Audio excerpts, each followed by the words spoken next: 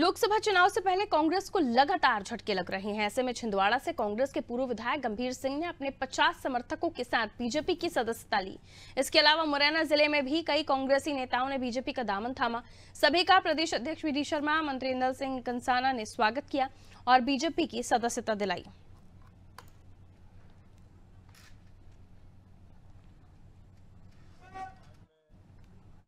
कांग्रेस का महासचिव भी रहा हूँ। अब तो इधर ज्वाइन कर लिया। और जिला सिवनी का प्रभारी भी रहा, बैतूल का भी रहा, और पिछले सैंतीस साल से कांग्रेस के साथ था। अभी आपने देखा कि जैसे ही भगवान श्री राम का मंदिर बना, फैसला आया और मंदिर बना, मोदी जी ने उसका उद्घाटन किया और निमंत्रण हमारे शीर्षक नेताओं को, हाईकमान को दिया।